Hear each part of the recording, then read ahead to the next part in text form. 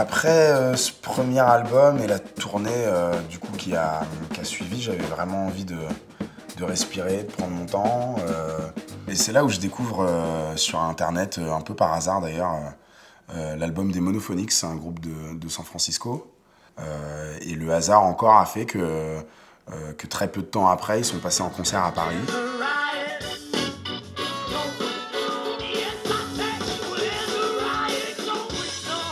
C'était tout le son de, de, de Otis Redding, c'était le son de Booker T and the MGs, quoi. Un son authentique. euh, je suis allé discuter un peu avec, euh, avec eux. Et là, le, le guitariste, il m'a dit euh, I say, you know, we have a studio in San Francisco. Why don't you come out and record an album? Only saying that, like, yeah, that probably won't happen. J'ai pas tellement réfléchi, quoi. J'avais juste envie de vivre euh, une vraie rencontre musicale entre mecs qui aiment la soul et. euh, tu vois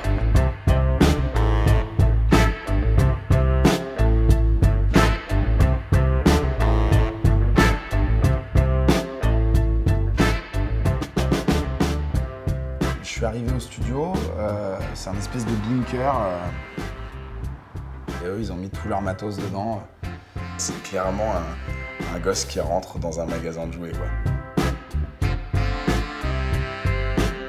C'est un espèce d'espace hors du temps, quoi, où il y a que des vinyles de soul, une platine, euh, que des micros vintage, que des amplis vintage. Vintage preamps and microphones and vintage instruments, so it has a feeling of warmth, and we try to capture that Yeah. as best we can.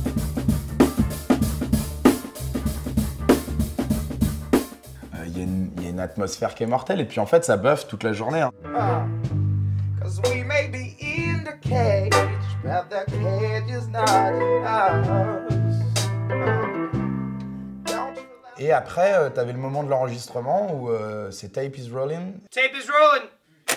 et c'est euh, de la bobine, des micros, tous dans la même room, en direct, et ça joue.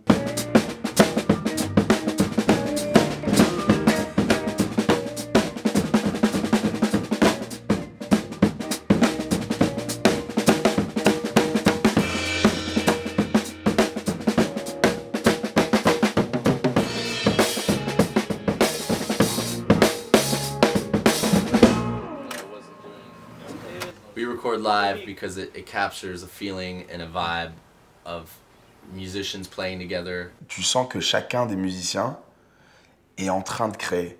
C'est pas un truc où les mecs ils savent ce qu'ils vont jouer. C'est un truc où chacun s'exprime en fait. Et ça, ça change beaucoup beaucoup de choses. One more chorus.